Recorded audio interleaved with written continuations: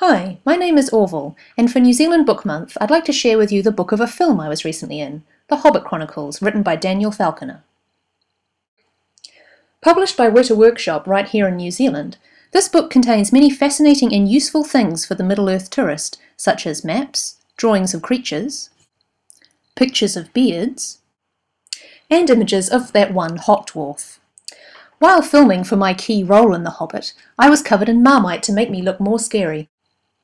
So be sure to look out for me in the films. Oh, excuse me, must go, fans, so demanding.